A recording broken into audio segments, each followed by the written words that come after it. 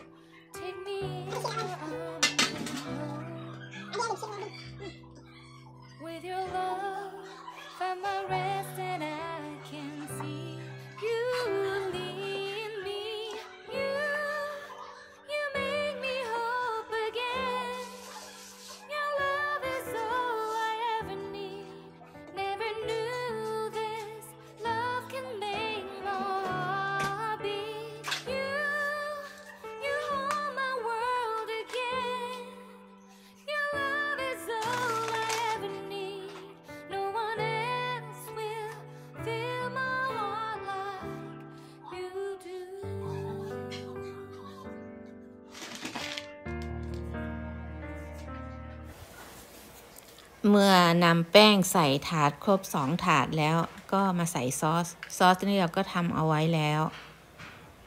ค่ะ ก็ตามตามสูตรปกติที่เขาทำทำกัน เราก็ท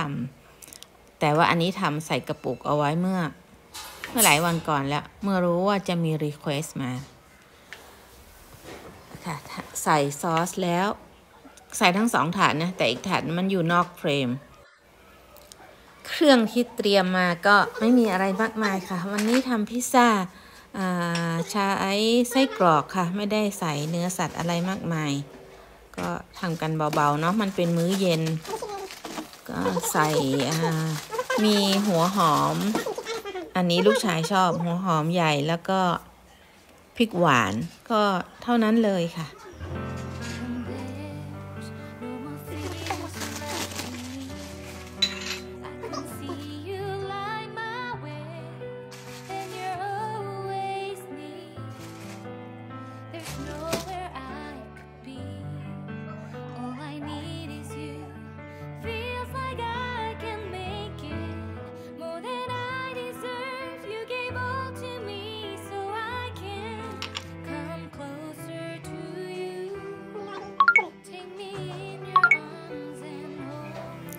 ลืมนึกไป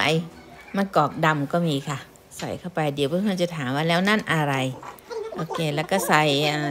ทั้ง cheddar cheese แล้วก็ mozzarella cheese ค่ะ หนักไปทางชีสนิดหน่อย แต่อีกถาดนั้นของเด็กๆ เราไม่ได้ใส่เครื่องนะคะ เราใส่แค่ซอส แล้วก็ใส่ hot dog แล้วก็กระหน่ำชีสเลยอย่างเดียว แล้วก็ ไปเตรียมรออบค่ะ อุ่นเตาก่อน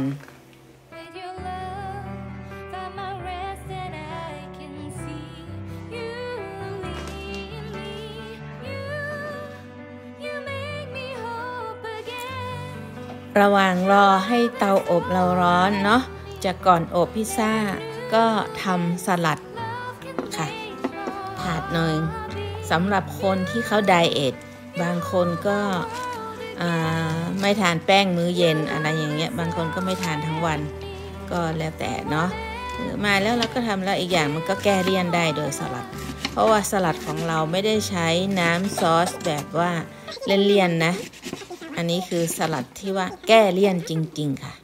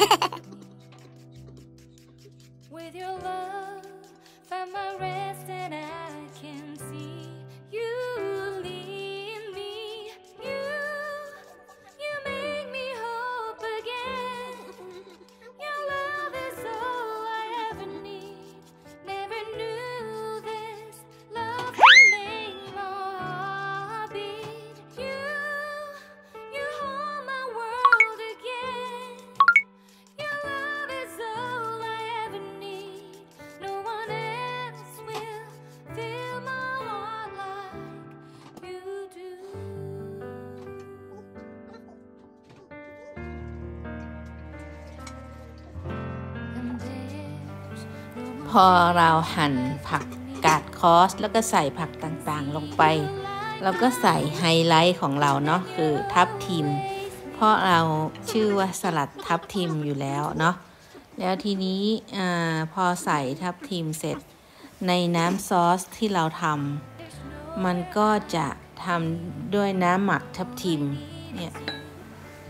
เพราะว่าเราไม่ได้ไม่ใส่มะนาว เราถึงไม่ได้ worry ว่าเราจะใส่ มะเขือเทศเยอะไหมอะไรเงี้ย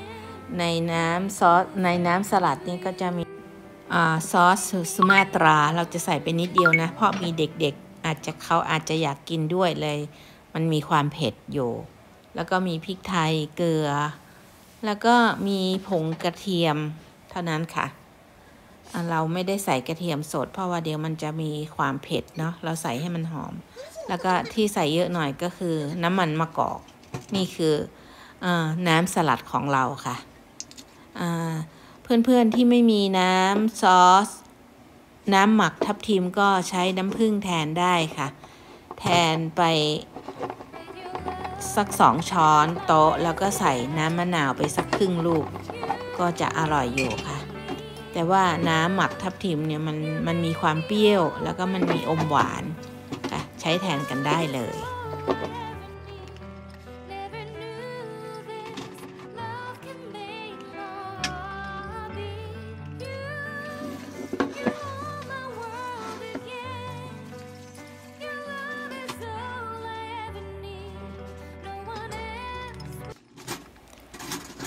เราคนจนเข้ากันดีแล้วก็เอาราดลงบนนี้เลย